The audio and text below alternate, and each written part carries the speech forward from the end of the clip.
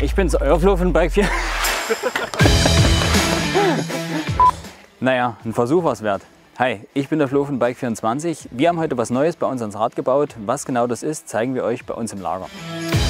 Wie wir euch gerade draußen auf dem Dreh schon angekündigt haben, gibt es was Besonderes, was Neues und zwar aus dem Hause Shimano. Ähm, damals in den 80er Jahren wurde ja mit der XT die erste Mountainbike-Gruppe überhaupt entwickelt. Ähm, jetzt 2019 kommt die XT auch als Zwölffachgruppe, passend zur Schwester, zur XTR. Ja, und wir würden euch einfach mal kurz alle Teile vorstellen. Wir fangen mal mit der Kurbel an. Und zwar zur Kurbel gehört natürlich auch das Kettenblatt. Ähm, das spezielle Kettenblattdesign äh, dient dazu, dass die Kette auf der Oberseite schön festgehalten wird und auf der Unterseite leicht wieder losgelassen wird. Das ist natürlich wichtig, gerade bei den Einfachantrieben, ähm, dass die Kette nicht verloren geht. Wie bei der großen Schwester, der XTR, ist das Kettenblatt äh, Direct Mount montiert. Und die Zähne-Range reicht beim Einfachantrieb von 28 bis 36. Beim Zweifachantrieb äh, hat man die Möglichkeit 36 äh, und 26 Zähne zu fahren. Die Kurbel an sich ist wie gewohnt in der Holotech 2 Bauweise gefertigt und wir haben auch eine Boost- und eine Non-Boost-Variante. Kommen wir zur Kassette. Die Kassette ist ausgestattet mit der Shimano Hyperglide-Technologie, welche für äußerst präzise Schaltvorgänge und natürlich auch einen leisen Kettenlauf sorgen, ne? also wie man es von Shimano gewohnt ist. Die obersten zwei Ritzel sind aus Aluminium gefertigt, einfach um ein bisschen Gewicht zu sparen. Ähm, die Ritzel an sich sind auf einem Aluminiumspider befestigt, welcher auf den neuen Microspline Freilaufkörper passt. Die Abstufungen der Kassette sind in 1045 für kleinere Gangsprünge und in 1051 für eine möglichst große Bandbreite erhältlich. Kommen wir zur Kette. Die Kette ist natürlich ein Herzstück des äh, neuen XT-Antriebs, auch eine besondere Zwölffachkette welche für sehr leise und präzise Schaltvorgänge sorgt. Die Kette hat chromierte Innenlaschen, was auch nochmal der Haltbarkeit sehr zuträglich ist. Auch beim Schaltwerk gibt es wie bei der XTR zwei verschiedene Versionen, ähm, je nach den Kapazitäten für Einfach- und Zweifachantriebe und die äh, 1051 bzw. 1045er Kassette.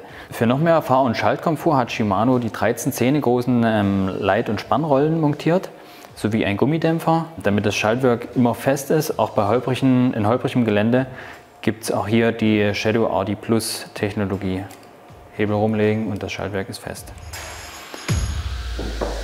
Das Besondere am Schalthebel ist, dass man diesen zusammen in Kombination mit einem Bremshebel in der Iceback EV Variante kombinieren kann und mit 14 mm Verstellmöglichkeit ziemlich gut an die eigene Fingerlänge anpassen kann. Klassisch bei Shimano auch die Möglichkeit des Two-Way-Releases des hinteren Hebels und des Multi-Releases äh, beider Hebel. Also man kann mehrere Schaltvorgänge mit einem Hebeldrücken auslösen.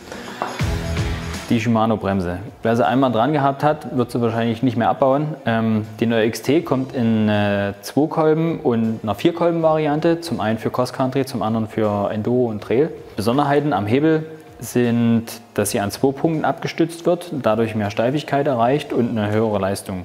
Also kurz gesagt, höhere Leistungsfähigkeit, schnellere Reaktion, weniger Leerweg. Neu sind auch die Bremsscheiben bei der XT mit der Eistechnologie Freezer. Das heißt, es ist ein Aluminiumkern in äh, zwei Edelstahlschichten eingebettet, mit Kühlrippen versehen. Das leitet natürlich die Hitze schneller ab und sorgt damit für mehr Bremsleistung.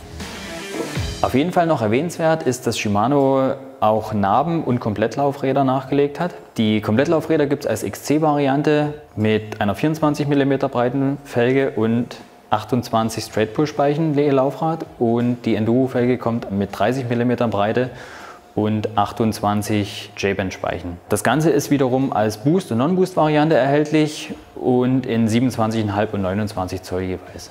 Damit kommen wir auch schon zum Schluss. Ähm, wir haben hier noch den Alltime Favorite, die XT-Pedale, eigentlich unverwüstlich und auch die hat ein kleines Design-Update bekommen. Das war die neue XT von Shimano. Ich hoffe, euch hat das Video gefallen und ich würde mich freuen, wenn ihr mal kommentieren würdet, ob die 12-fach XT für euch ein Update wert ist. Ansonsten danke fürs Zusehen, euer Flo von Bike24. Ciao!